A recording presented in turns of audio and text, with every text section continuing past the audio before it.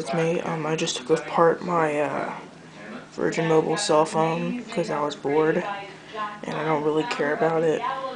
Um, so, just to prove that it still worked, I'm going to turn it on using this thing and the battery.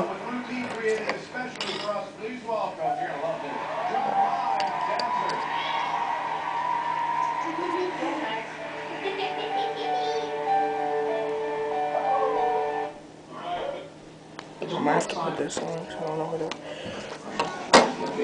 What are you doing? Next, get out. I'm filming. So, uh, let me put this on and I'll show you if it still works. Oh, see that? Lit up.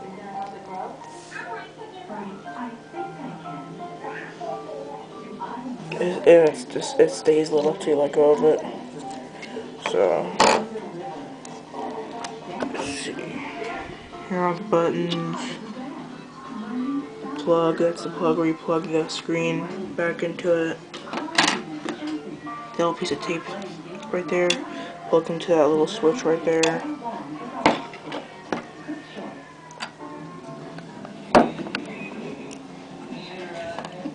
Plugs into that right there.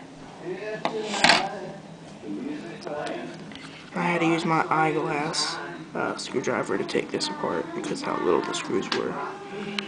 And here are the little buttons, the little soft keys on the sides. And here's the back.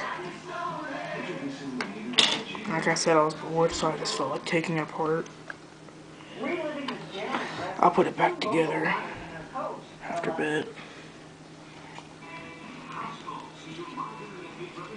So, about it. So I sent me a message if I should smash this phone, because I don't really give a crap, crap about it.